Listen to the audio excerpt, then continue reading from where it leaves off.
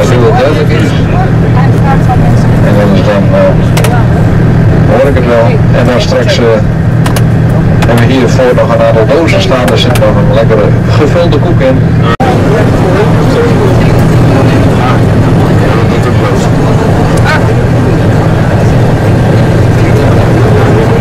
Heb dan. Ik vind het wel grappig het, om op het handvat te zetten. Uh, tenminste, ik begrijp dat niet, maar uh, ik kan dit wel gewoon. De achterkant is gewoon zo. Tadaa!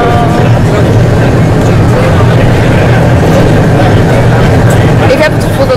Zo, we gaan even naar het katshuis en nemen deze mee. Oké, we gaan niet doorrukken. We gaan naar het katshuis.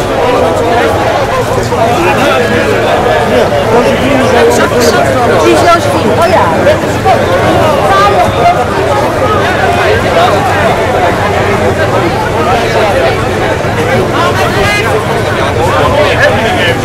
Josephine.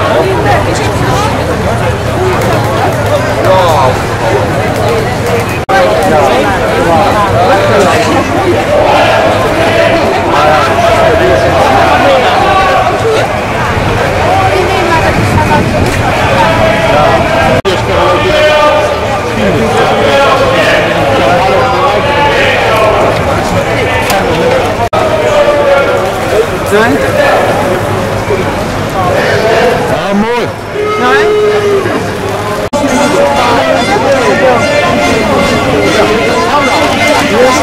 dat is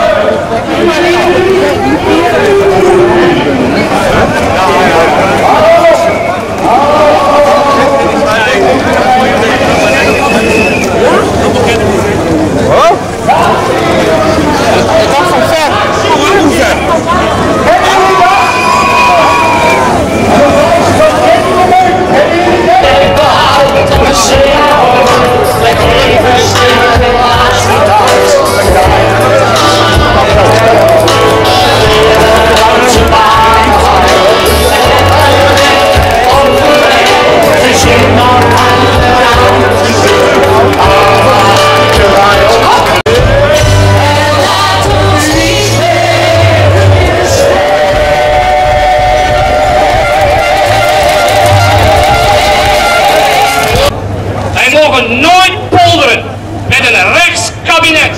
Dat kan niet, dat mag niet en dat lukt ook niet.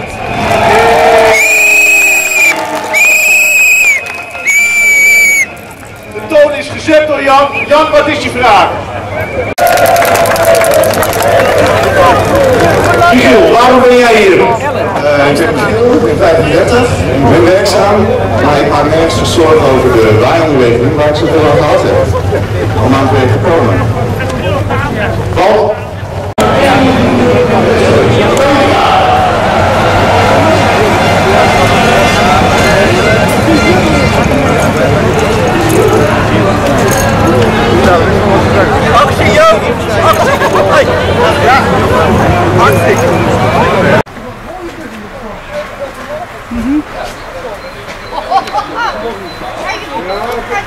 hallo, met Anjo.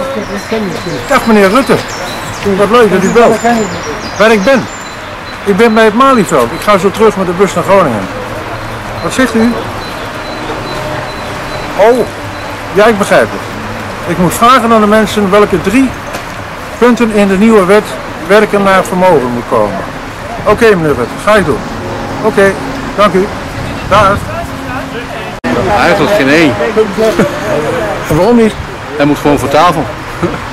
Dat vind ik goed. Maar stel dat die wet er toch komt, welke drie moeten er dan toch in? Eh, oh, dat vind ik heel moeilijk. Eh, dat iedereen werk krijgt.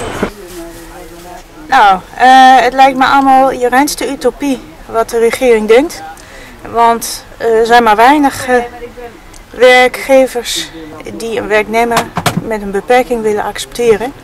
En al zouden ze willen dan nog, kunnen ze zich dat risico gewoon niet permitteren. En al die begeleiding kost ook handenvol geld. Dus het is zo even niet 1, 2, 3 te regelen, ook niet door de gemeentes. En er moet wel echt heel veel veranderen. Wil, dit plan echt werkelijk doorgevoerd worden? eh, dat iedereen eh, kan werken naar vermogen zonder sociale werkplaatsen. Nou, dat zal echt jaren duren en heel veel energie kosten om dat te bereiken. Daar zitten op dit moment nu heel veel problemen haken en ogen aan. Wat moet Rutte dan wel doen? Rutte, ja, die moeten meer lange termijn plannen maken als hij zijn ideeën wil verwezenlijken en niet zo op korte termijn redeneren. En dat doet hij nu wel. Nou, en dan kom ik hem nu nog het meest tegemoet. Ja, eigenlijk geen één. Eigenlijk geen één. Omdat, eh, ja, ik vind dat het gewoon weggeschrapt moet worden, de hele wet. Want eh, anders gaat iedereen uh, ter onder. Punt 1. Dat iedereen moet kunnen leren, dus studeren en kunnen werken. Ook al heb je ADD, ook al ben je lichamelijk uh, gehandicapt of heb je überhaupt een handicap, dan moet je vol kracht kunnen leren en studeren. Oké, okay, punt 2. Dat is persoonlijke ontplooiing van ieder mens. Uh, zodat elk mens naar vermogen kan werken, leren en doen wat hij wil ook. Zonder, zonder uh, winstoogmerk uiteindelijk. En dan